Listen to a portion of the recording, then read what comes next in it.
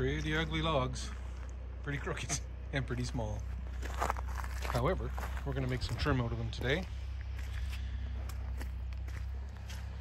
I've got my mill warmed up and I put a blade on fairly recently. I don't think there's, there wouldn't be a hundred board feet on it probably. So I'm ready now to, uh, to mill this poplar. These are all poplar logs that a gentleman took off of his own lot. And instead of me stickering and stacking them here on the ground and letting him pick them up, he just dropped his pickup truck off and I'm gonna load the pickup truck with the, with the lumber. And I think that's the easiest way for me and definitely the most uh, responsible use of my time so I don't have to sticker and stack and move stuff two or three or four times. Um, and he doesn't have to deal with it. He can back his truck right up to his garage and he's going to stack this stuff. So I'm going to make five quarter and four quarter, which is one inch and one and a quarter inch stock for windowsills, window trim. I've already done, I think, about 15 logs for them. There's 13 left they're pretty crooked. I'm not going to get, this is definitely the, the worst of the pile. I've uh, milled some maple for them for some trim, for some thresholds, for some baseboard, that kind of stuff. So we're going to uh, mill the rest of this poplar out and see if I can't make something that uh, makes it look a little nicer um, than just stuff that was laying around his yard. This was all wood that, not even good for firewood, but he had, he's building a new house and this is stuff that came from trees that came from clearing the lot where the house is actually being built. So there's a bit of a sentimental value.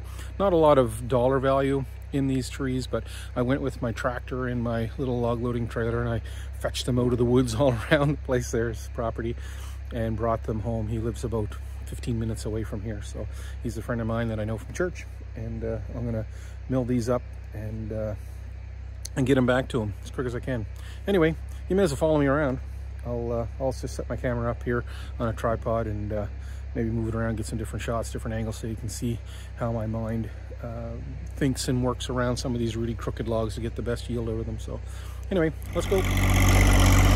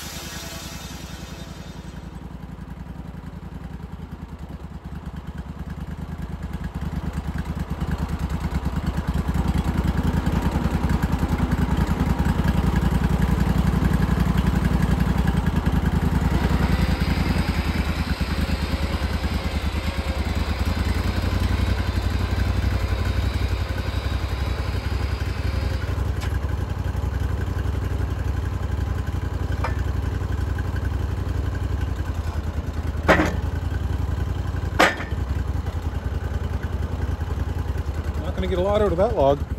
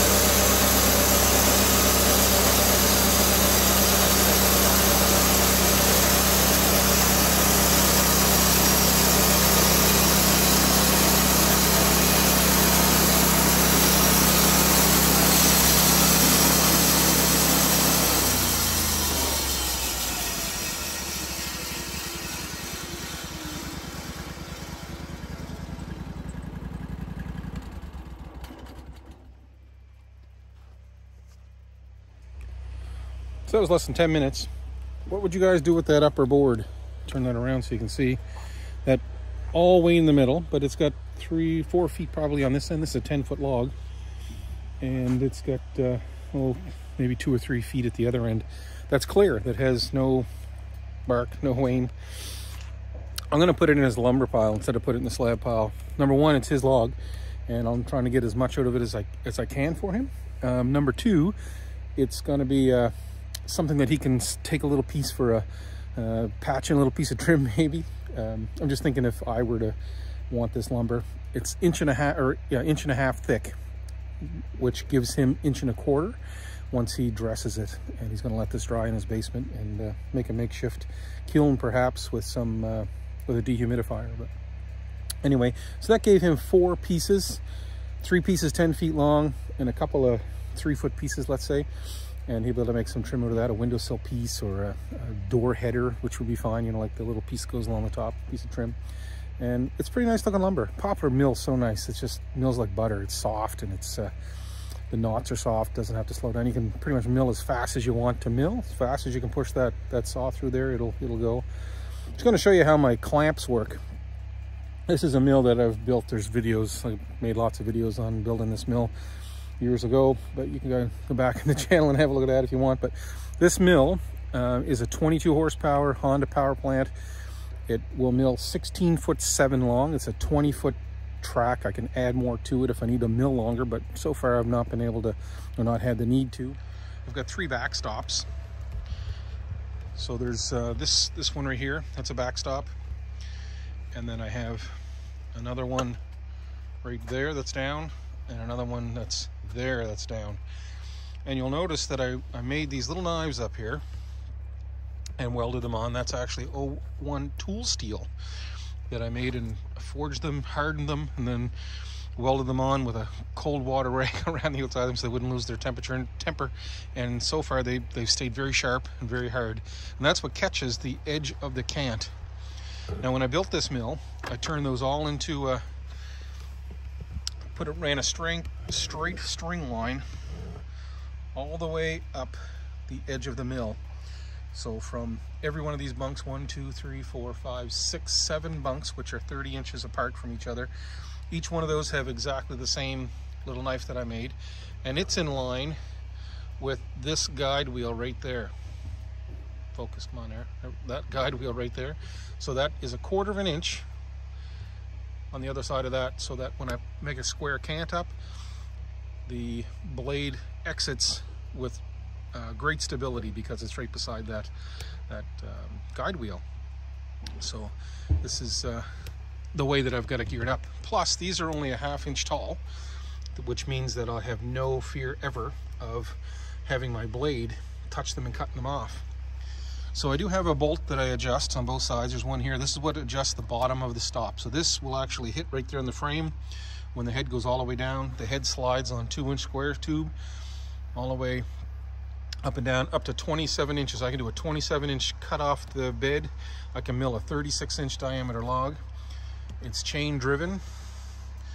The lift mechanism is chain drive. There's a shaft that runs right clear across with three pillow blocks. And when it's all the way down the blade, the bottom part of the lowest part of the cutting tooth is exactly one inch off of the deck. So all that to say, my dogs or my clamps are also half an inch above the deck so that I'd never cut them off no matter what. So I have these threaded in place and they just slide, slide along. They go up all 14 inches or so, enough to clamp any log. The one in the middle only goes up six inches because I've got framework for the axle that's in the middle there, but it's never an issue. And this back one here also goes up 14 plus inches all the way to the top. Same as the backstops. Backstops also go up 14 inches. I don't know if you can hear the machinery running in the background. That's Mrs. Logfather processing firewood today. So when I have a lumber order to do, she's willing to get some firewood orders tidied up while I'm milling the lumber order. So let's get this loaded in the truck. I just wanted to show you a little bit about the mill. Um, maybe before I do that, this is a band brake that I've built just with a spring. This is actually off a John Deere mower deck from an old tractor that I used to have. I put a pulley on it, put a belt as a basically a friction tire on the outside. This is a, a band strap that I made out of a piece of quarter inch steel and just bent it, uh, bent it by hand over an anvil. And it's what allows the, the gears to work. These gears here, this is a should say on it how many teeth that is. I don't remember now. It does say there, but I don't have my glasses, so I'm not going to squint hard enough to see that. But this here, when I do two full rotations of this pulley, equals one inch of lift. So it's a pretty good guess to get into that. Um, and there's no effort whatsoever. One hand, one finger, you can lift this up. We got lots of mechanical advantage, lots of sprockets and chains you can see in there. So we got mechanical advantage here in this chain, and then we have this multiplied again through this chain. So I used to have a motor on this. You can see the, the base, the foundation. There's the, the guts, I guess, of that motor, an electric motor on that. And the problem with the motor I had is I couldn't get it slow enough to stop when my pointer was actually on the measurement that I wanted it to be at either blow past it going up or blow past it going down and I'd have to adjust it by hand anyway. So I ended up taking the motor off and I don't mind it. I think someday there'll be hydraulics involved in this mill. This is the same motor over there that operates the drive and that motor's starting to get a little tired. It's got well over 300 hours on it now and a lot of backing and forth and I use uh, it, it's milled a lot of big lumber so it's not getting tired going forward, it's getting tired going backwards, which surprises me. So, but I'd like to replace that with a hydraulic motor. I'd like to build a hydraulic um, backstops and like to build a log turner that also runs in the same hydraulic. So anyway, that's a, that's a job for a future, future time.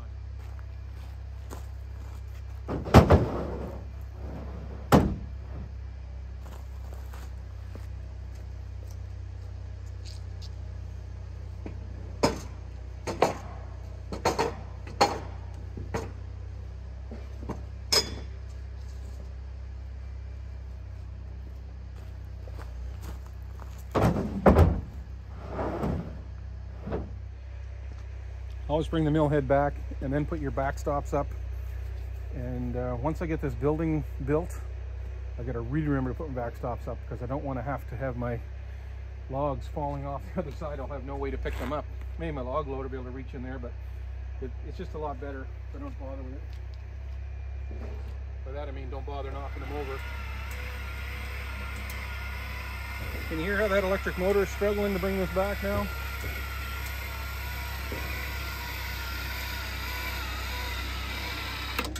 I just use windshield washer fluid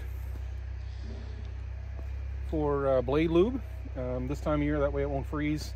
In the summertime I just use water and some soap dish soap. But uh, a month ago probably I switched over to windshield washer fluid. And that it's a great lube. You can add as much as I want. I pressurize this tank just with a couple of pumps. I have a, a filter on it so it filters whatever debris will inevitably fall in this tank. And it doesn't end up in my solenoid this is just a valve to decide how much water I want to put uh, through the system. Right uh, in this, about the center of your screen, you're gonna see the throttle open. I'll open the throttle wide open. See that little switch? And that's what activates the blade lube. It's not a pump. What I have is a 12 volt switch. So this, this blue line right here, I'm not sure if you can see where I'm pointing or not, that blue hose is connected to a 12 volt solenoid switch that opens and closes. So whatever pressure I put in this tank will end up uh, coming out that nozzle. So inside command central here, I've just got a few switches is all. I have a manual override, so I can, I can press this switch and that allows the head to move in whatever direction I've got that switch set. So all this switch does is forward or reverse. This switch is to turn the motor on or off. That's all that is. And my motors, turn that on, back will come. And this fellow right here is my feed speed. So down there is completely off.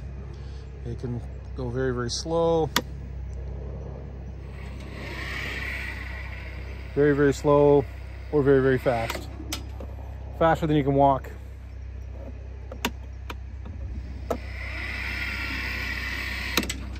And this fellow right here, which has a dead battery, is a digital readout. Uh, and that gives, if somebody needs to have an exact measurement, I can turn this on and I can, uh, I don't know if that'll let me zero because, no, it does.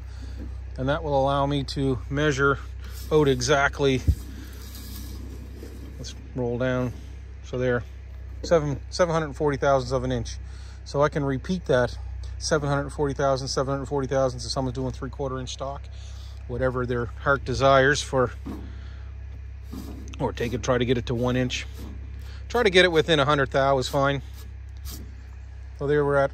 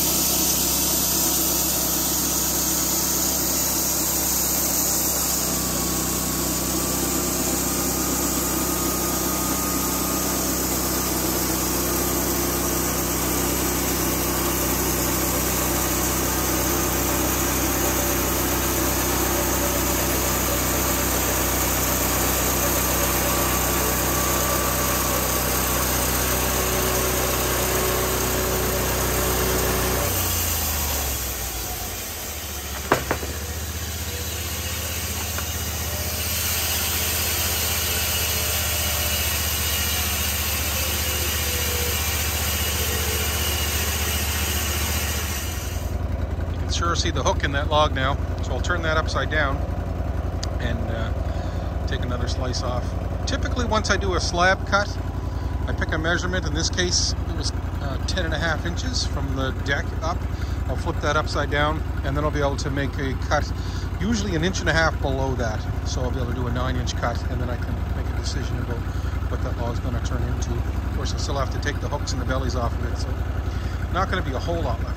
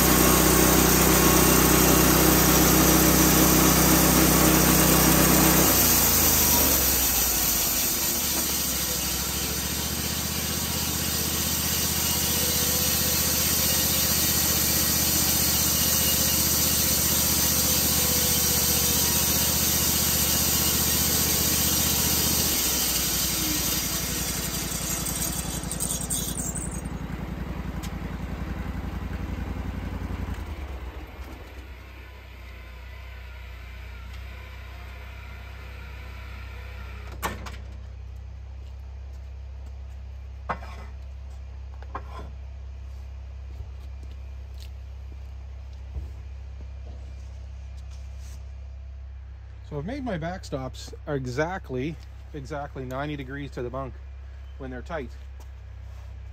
So in this case, what I'm gonna, I wanna do is I wanna cut the, the belly off first, but I wanna make sure that my cant, and the cant is what's the square piece that's inside this log after you take the bark off of it. So I put these fellows up and I tighten them up and that makes 90 degrees here. Always gonna be 90 degrees here. Then I take my peavey And I'll roll that log not just once, but I want to roll that right upside down. So I'll take the belly off. And then when I clamp it, when I clamp it to the uh, backstops, I know for sure, 100%, that my cant is going to be square. So to raise this fellow up a long ways. So as long as I can't see light of day in the bottom and the top, I know that my cant is 90 degrees. This, this is perpendicular to the next cut.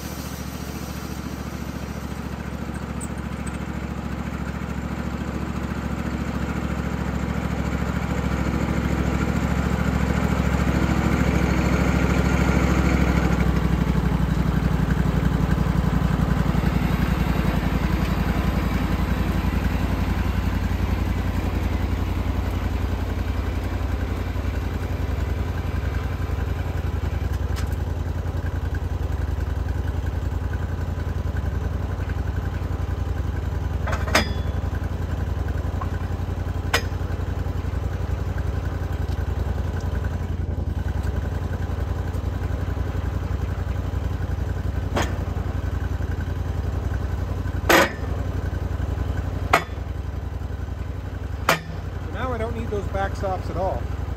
Those little knives that I was telling you about, I can bring the square edge of that cant right over to it.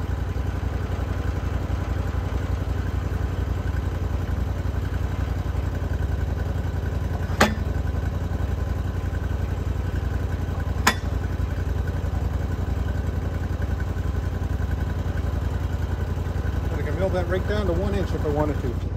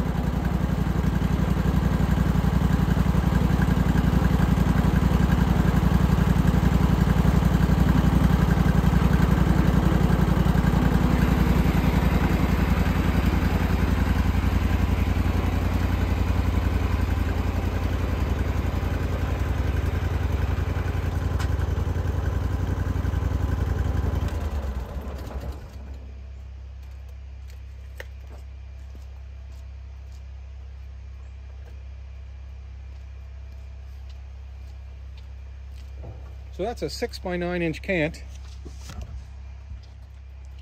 So that's six by nine inch cant. If we're still trying to get one and a half inch stock out of it, which we'll end up with one and a quarter, we're gonna flip that up on its edge. And that's gonna give us uh, one by six, or one and a half by six all the way down. So we can cut the first one at seven and a half, then the next one at six, and then four and a half, and then three, and then one and a half. So we get one, two, three, four, five, six pieces out of this without any issue. And You'll be able to end up with lots of nice material. Or we can take nine one by sixes out of it if we wanted to. Yeah, nine one by sixes would work as well, but I think we're going to try to go for the one and a half, get the heavier stock first because some of those logs are smaller, really is one inch one inch bits out of it.